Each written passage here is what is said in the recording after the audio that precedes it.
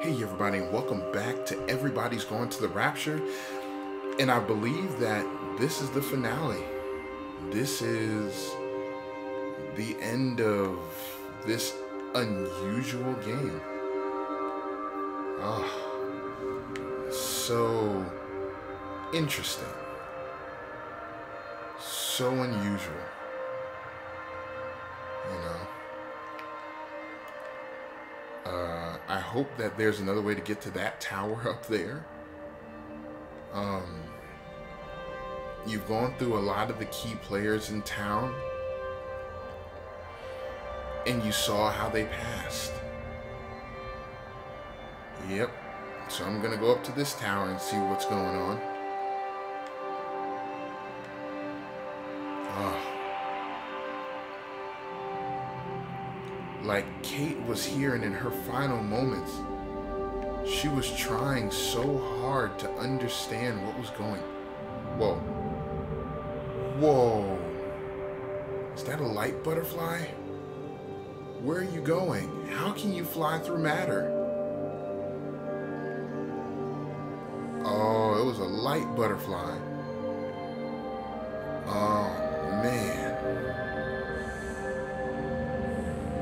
This is so crazy. She's doing all of these mathematic calculations. Just whoa.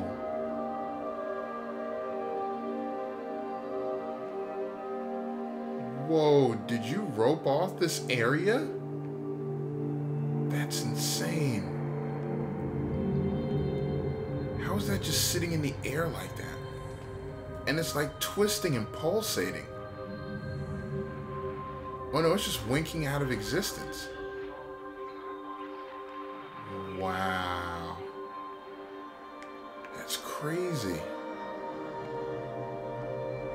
But what was Kate trying to... She was looking over here at something. Trying to triangulate something. What did you see? What are you talking about? You have all these pictures and all these maps here. And you saw the light too. Yeah, like I've seen the light. Yeah. Okay, this is the third station. That the symbol for Valis? You know, get me wrong, that's a cool symbol. Alright, you had a generator and tons of books. I know it didn't mean to hurt any of them. I try and explain why Lizzie tried to leave with her child and why it was wrong to stop her. I try and explain that much of what it did was wrong. It shows me Stephen and Lizzie together. And I'm happy for them. Hmm. Frank walks his fields with Mary. Wendy and Edward nest together in the orchards of their love. Jeremy lies at peace with his God at last. All of them are happy because they are together. I understand it better now. It is a collector of time. No butterflies.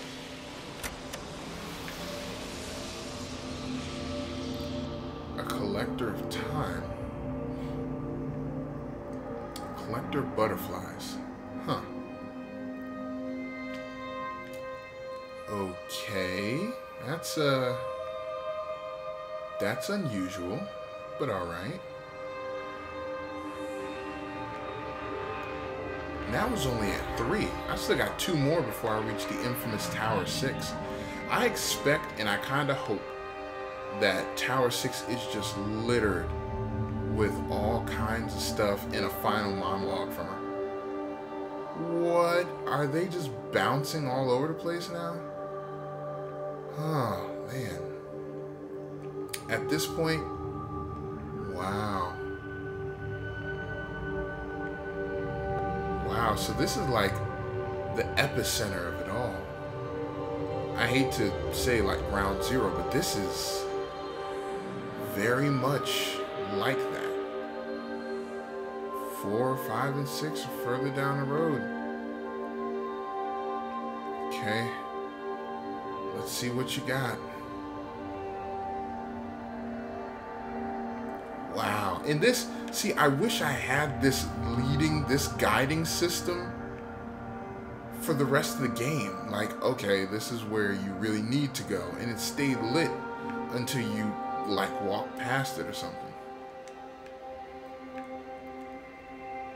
Okay. So, let's see what she did over here. Because there are all kind of... Like, how was she able to do this? She got all these pieces together and put antennas out here closer to here to try and get a signal. And I can't turn those on. Oh, excuse me. Oh, God, heartburn. Wow. I come over and it just illuminates. Wow. So, if I had to guess, I would say that she tried to put all of these out here to get a stronger signal. And all those tethered back to amplify whatever she was trying to do or whatever she was trying to catch. I'd imagine she was trying to catch something here. That's a lot of heavy work for one person to do. That's incredible. Huh. Moving generators, fueling them, building all of this, tethering them back to where they need to go, making sure they had an adequate power source. All this with what we now consider primitive technology. I watched the pattern lean in and time slow to almost nothing. I saw the flame leap from Stephen's hand and the moment hang in the air forever. I watched his face. And in the last second, I almost believe he saw me. He wasn't frightened He or angry. something. I remember his expression, just like I remember it from the first time, early that morning when he woke and, still half sleeping, said, God, I love you. Yep. And I loved him as he entered the fire. And I let him go, knowing I wasn't ready to join him. We have held time to ourselves here in this place, held the light to the ground because we were afraid of the coming dark. But now we understand that to cling to the light is not living. I've spent my life watching the illumination from a million dead stars reaching for me without grasping this meaning. The light we cast transcends our death. The pattern made by our living creates a bridge across the dark.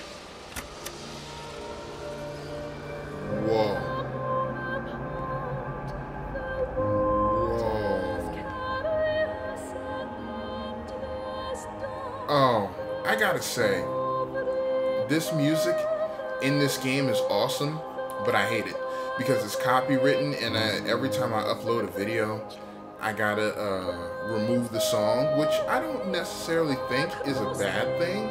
It's just that it makes kind of like awkward gaps because the song is blocked in certain countries. I mean, okay. I guess if if that's the country and that's the nation and society's prerogative, sure. Why not? We all live in with different cultural norms and stand. Cultural norms and standards. But man. Man, oh man. Wow. So much light to show what she was doing. Perfectly illuminated. Is this tower six? Or is it five? Better be five. Okay, it's five. Alright. Wow. Okay, so what was she doing here? How did she do all this?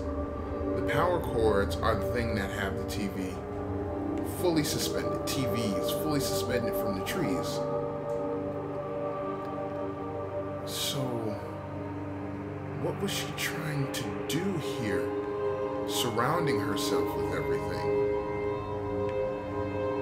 Oh, all right. Let's hear from the doctor herself. It reaches out from the shadow of the tower, across the observatory, over the valley, and consumes the world. Everything is light now. Everything has come to rest. The world is scored by the traces we carved into it. Our presence is everywhere, the bridge joining our stories. This world existed before we came to it, and it will continue without us. In the empty fields and houses, our traces radiate, and others will come to dance in the light we cast. We can slip away gently, unafraid, knowing that everything will continue.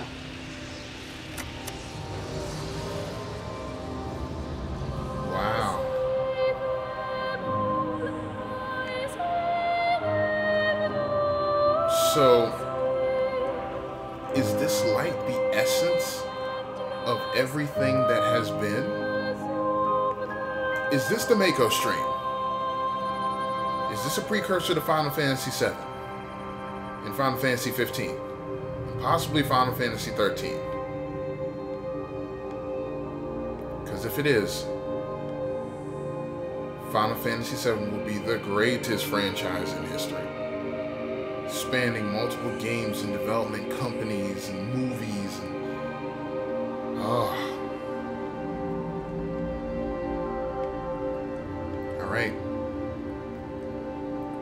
Try to escape? Not at all. Glass Tower 6. Yes, indeed. Is there anything out here? Anything that I need to be aware of out here? That would get me an arbitrary trophy that means absolutely nothing?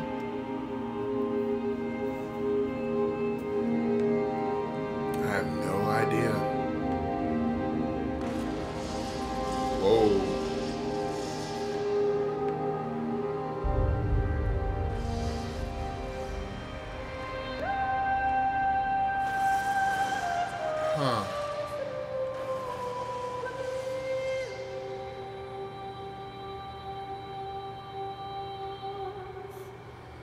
But who am I?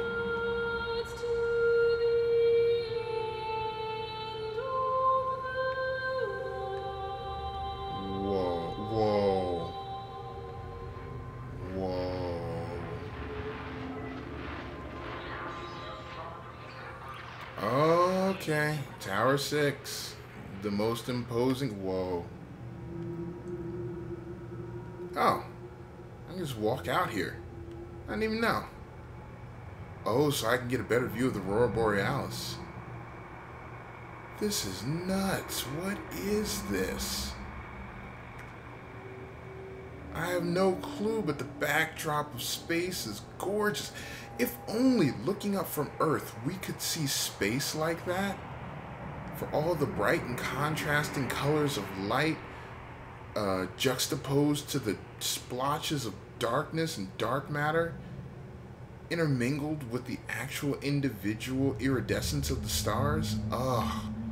Ugh. Okay, that's enough of me waxing poetic. It's beautiful. Beautiful. And, I, oh man. Yep. It's time to accept fate. Time to walk in and see her final fate. Maybe, maybe she'll still be alive. I doubt it, but maybe. You never know, because I don't know who I am.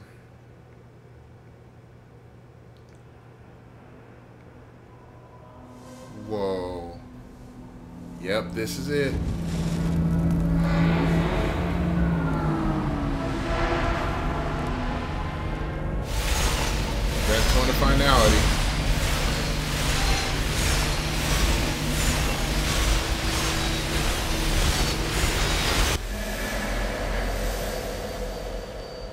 Can't move. Sit back and enjoy the show.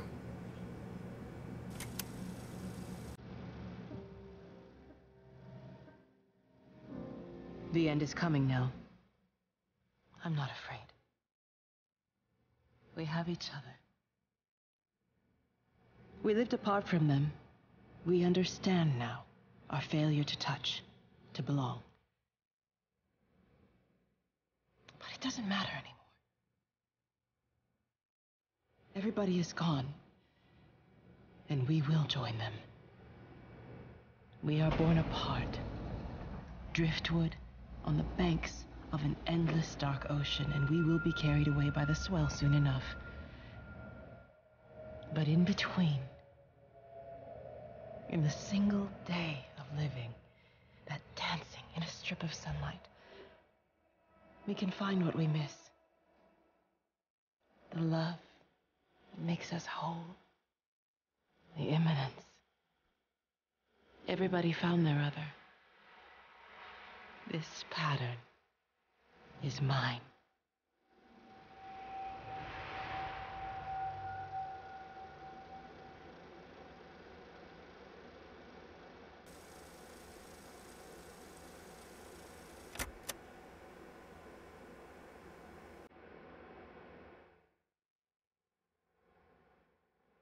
Wow. All right.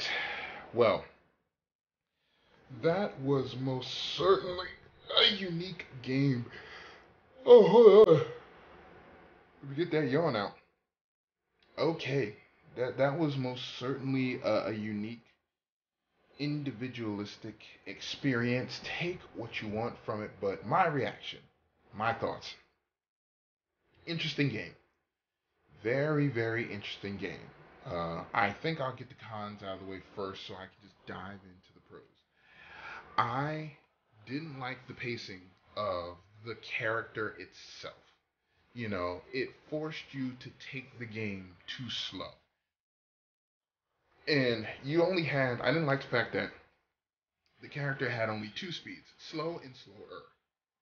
And you were forced, and most likely you're just going to hear just a blank background because my uh, my voice will be the only thing in here since this music is probably really copywritten. So that's fine. Um, but it, I didn't like that. I didn't like the fact that it didn't have guides to help you until the very end. And the guides at the very end weren't needed because you, as a player, developed your own sense for where everything was and kind of where you needed to go the guides only sort of came in and helped once you were like lost for a while or once uh, you had left an area and came back to where you last saw it. Then the little sparkly doodad would jump in and be like oh okay follow me. Um i don't like the fact that this game has arbitrary uh as a matter of fact i think i'll just turn this yeah. I don't like the fact that this game has uh, arbitrary trophies. Like you got you got to look at every single Metro poster, and it doesn't give you an acknowledgement for anything as you go along. You can't go into certain houses. You can't go into certain places. You know, while very cool, um, I think that there was a lot of dead, unused space in the game. Uh, so, you know, that was one negative. Um, now, for the positive, I really liked the story that this game told. I really thought that the the story that the game told, the ambience that the game placed you in, was really, really, really good. Like it made you think and feel like you were alone the entire time. And in the beginning, some of the ambient noises scared me because I was like, whoa, I'm supposed to be alone. Am I supposed to see somebody? It's going to be like survival horror type of thing. And it wasn't. It was literally you're alone, walk around and figure it out. um, which was really cool. I think that they did a really good job as far as that was concerned. I just had to put my headphones down, my broken headphones. Um, I liked, I really liked the visuals. Like, uh, the Chinese Room did an outstanding job on the visuals in this game. It was a graphically beautiful, gorgeous, absolutely gorgeous game. From start to finish, everything looked good. And that's what I'm really excited about about the game like the everything in it was so good, the sound, the visuals that it was a real immersive uh, experience. I liked the characters. Everybody, liked the voice actors, they had it on point. Nobody felt like they were phoning it in. It all felt real and authentic and genuine. I liked the perspective that you saw the story from, where you were just a passive onlooker going back into this town and seeing, you know, what happened here, seeing how these people lived their lives and the interaction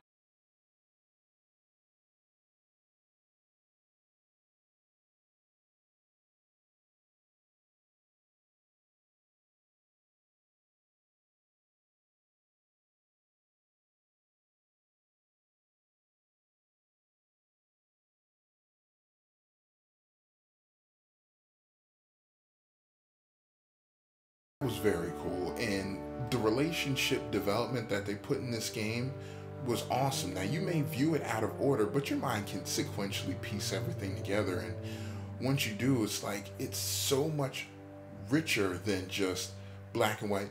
Everybody died. Da, da, da, da. There were so many shades of gray and so much going on uh, in the final days. Because I would say it, this whole rapture thing took place from a week over the time period of three days to a week. And to see everything that everyone was going through in that time and how all their relationships came together and drove each other apart, very, very cool. I think all of the settings, like the physical sections of town that you were in, were incredibly appropriate. Uh, the controls were simple you know, you just need the directional pad. Pardon me if you hear something outside. That's the people doing uh, uh, landscaping on a day that they don't normally do it.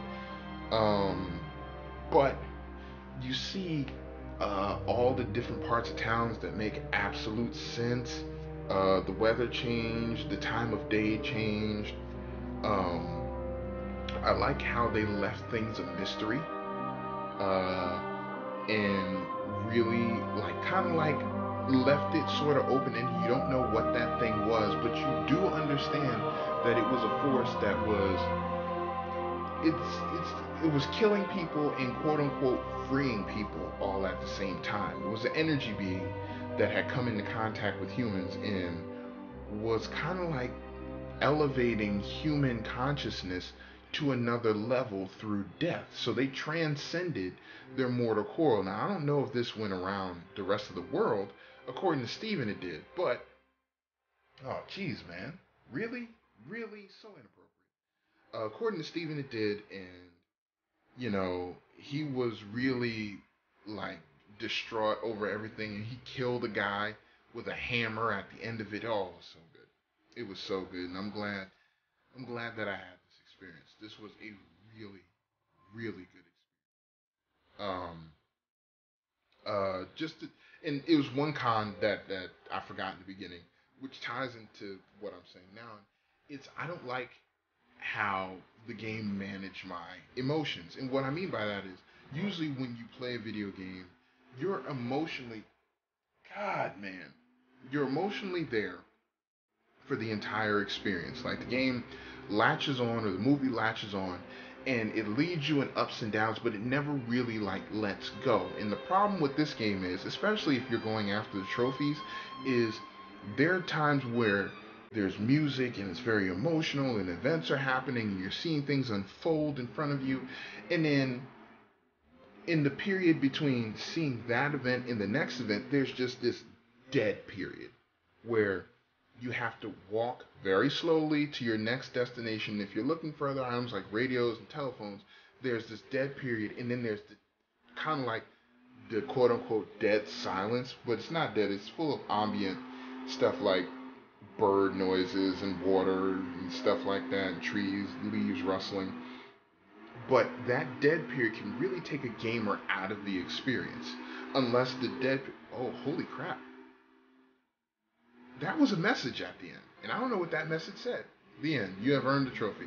Oh, hooray. I've made it to the end of the game. Should not I be proud of myself. But, um, those dead periods for someone who's trying to do a completionist run of the game can really take you out of the experience and, and make it kind of feel tedious.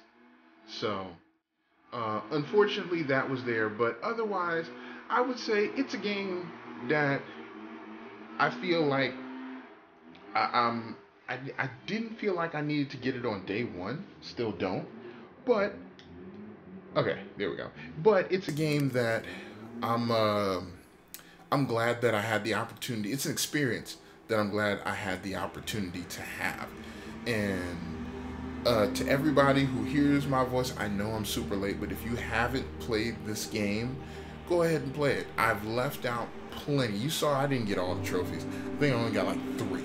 And one of them you got just because you completed the game. But there's still plenty more to see. There are plenty more telephone things to get. There are plenty more radio things to get. You know, just go out there and see all the nooks and crannies that this game has to offer because there's much more story that we didn't get the opportunity to see and or hear that I think that would add to you know the substance of the story. So thank you. Thank you so much for joining me. Thank you for making it all the way to the finale. If you liked it, mash that like button, like there's no tomorrow, share the video with the world. Hit me up on Twitter and hit me up in the comments section below. Let me know what you think about the videos thus far. And I have more videos coming on the way. There should be another series. There should be another series lined up. I got to check my notes and see which one I'm to bounce to next.